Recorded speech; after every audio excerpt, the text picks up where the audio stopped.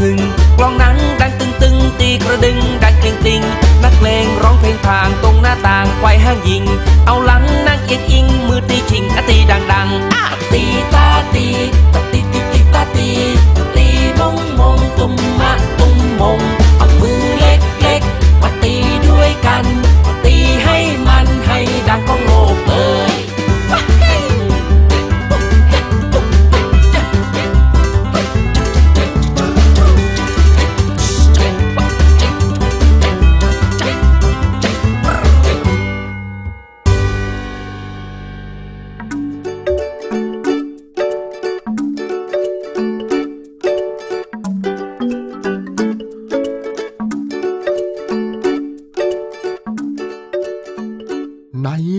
นี้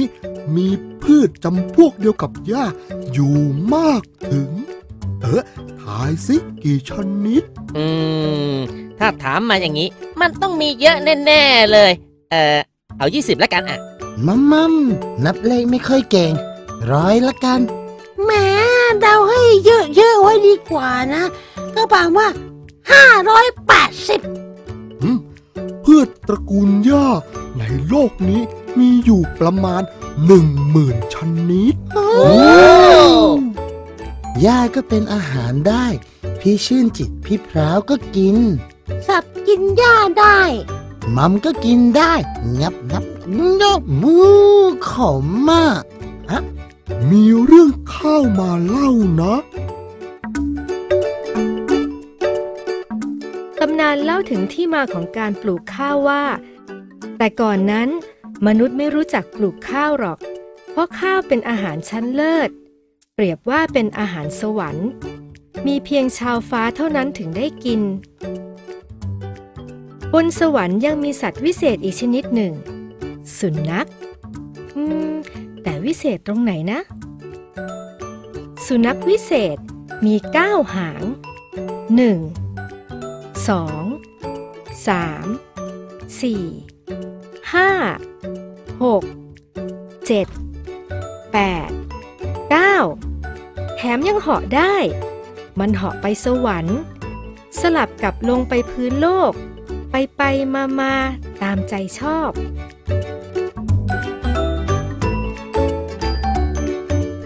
สุนัขวิเศษนี้ใจดีและฉลาดมาก วันหนึ่งบนโลก มันเห็นมนุษย์ง่วนกับการขุดคุ้ยดิน เฮ้ย ทำอะไรน่ะขุดขุดขุดขุดขุดอ่ำอ่ำอ่ำงับงับงับงับอิ่มอิ่มอิ่มอิ่มอิ่มสุนัขรู้สึกสงสารมนุษย์ที่เพาะปลูกไม่เป็น ต้องขุดเผือกขุดมันกินไปวันๆสุนัขก้าวหางคิดหาทางช่วยคน มันอยากให้คนได้กินอาหารสวรรค์ สุนัขฉลาด เอาหางจุ่มจุ่มจุ่มเมล็ดข้าวติดขึ้นมาเต็ม แล้วรีบวิ่งจูดเหาะลงไปทันที แต่เทวดาหรือชาวฟ้าเห็นซะแล้ว ชาวฟ้ารีบตามด้วยความโมโห น้อยแน่ เจ้าสุนัขก้าวหางบังอาจมาขโมยข้าวอึ๊บอืม เกือบจับได้ สุนัขสลัดหางทิ้งไปแปดหาง แล้วหนีลงไปโลกมนุษย์สำเร็จ สุนัขเหลือหางมาเพียงหนึ่ง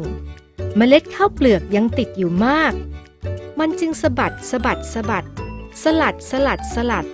แล้วสอนมนุษย์ปลูกข้าวไว้เป็นอาหารที่อร่อยและมีประโยชน์ แต่สุนัขไม่สามารถไปสวรรค์ได้อีก เลยอาศัยอยู่กับมนุษย์ เป็นสมุนคู่ใจตั้งแต่นั้น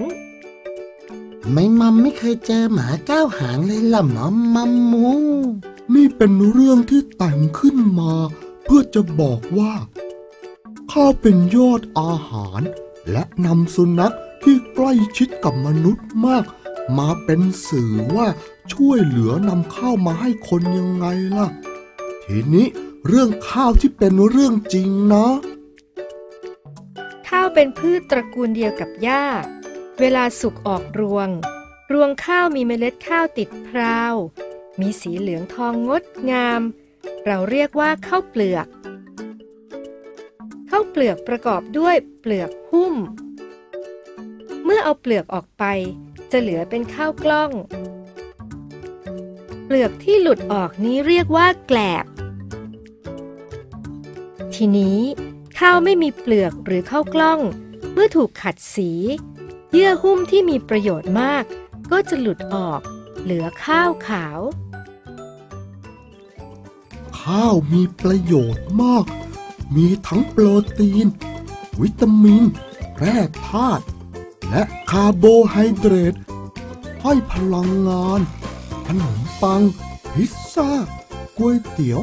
บักหมี่ก็ทำจากข้าวนะ อืม มันทำจากแป้งไม่ใช่เหรอ แป้งก็ทำจากข้าวนั่นเอง แต่คนละพันธุ์กัน ข้าวมีหลายสายพันธุ์นะครับ ทั่วโลกนี้มีกว่าหนึ่งแสนสายพันธุ์โอ้โหมัมมองชื่นจิตเนี่ยมีความรู้เยอะจังเลยอะก็อ่านหนังสือมากไงขุนลมโชอะหยุดพักสักประเดี๋ยวเด้คือว่าเหนื่อยและเมื่อยอะแดดเดียวแดดเดียว เอ๊ะแอะแล้วจะกลับมานะเ